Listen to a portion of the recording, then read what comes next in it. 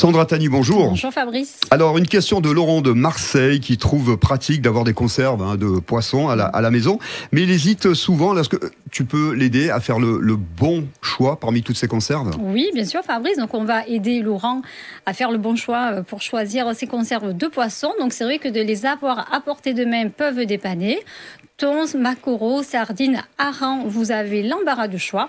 On va, pour euh, commencer, rappeler à Laurent les avantages nutritionnels et des poissons en conserve. Alors, les, conserves de poissons, c'est vraiment bien pour la santé, Sandra? Alors, écoute Fabrice, oui, c'est un grand oui. Les conserves de poissons ont une bonne valeur euh, nutritionnelle, malgré le traitement thermique qu'elles subissent. Elles sont riches en protéines, en bons d'acides gras oméga 3 à longue chaîne, un apport intéressant en vitamine B12, notamment chez les personnes qui ne mangent plus de viande mais aussi en sélénium, phosphore et en iode.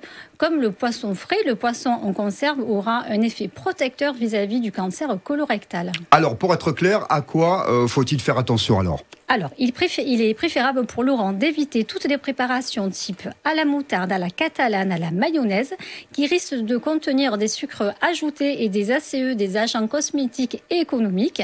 Pour rappel, ce sont les marqueurs de l'ultra-transformation, parmi lesquels on retrouve des épaississants et des arômes. Ensuite, il faut être vigilant aux matières grasses. Préférer de l'huile de euh, l'huile d'olive que l'huile de tournesol riche mhm. en oméga 6 euh, et bien sûr choisir des conserves naturelles ou à base de citron. Alors, euh, on va parler du thon parce que le thon conserve forcément. tu as des précisions à nous porter sur sur cet aliment-là oui, Tout à fait. Donc le thon retrouve principalement les espèces suivantes le listao, l'espèce le plus capturée, l'albacore ou le thon jaune, qui est peut-être le plus célèbre des thons en boîte, et le germon ou le thon blanc, l'espèce la moins représentée dans les conserves, mais celle qui contient plus d'oméga 3.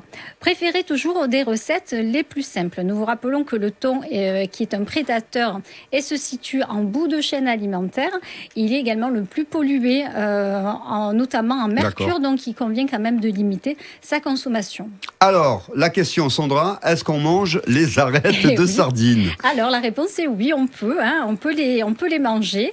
Euh, les arêtes de sardines en conserve sont plus faciles à manger. Elles sont molles, mais elles sont surtout riches en calcium si vous mangez, euh, si mangez les arêtes vous rebutent, vous n'avez pas envie de les trier. Certains fabricants euh, proposent des sardines en boîte sans arêtes. Alors on a parlé du thon, on a parlé euh, des sardines en boîte. Il y a d'autres choses intéressantes On va parler, oui, du foie de foie de morue. Donc c'est une des meilleures sources de vitamine D.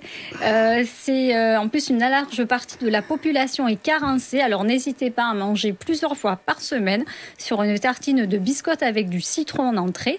Pensez à le prendre à teneur en réduit en sel. Non, je rigole parce que moi, j'ai pas forcément une très bonne expérience avec le foie de morue, mais je sais que c'est bon. Et eh alors, consommez-en.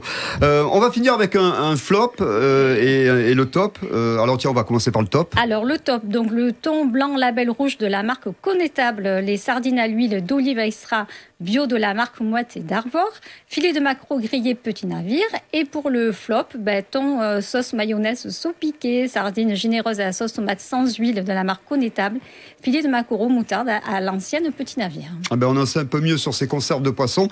Euh, j'espère que Laurent a été ravi de, ta réponse. Merci beaucoup Sandra. On peut te retrouver sur Doctolib et tu consultes également euh, dans ton cabinet. C'est au 109 B rue Jean Mermoz dans le 8e Sandra Tani. Merci. Merci.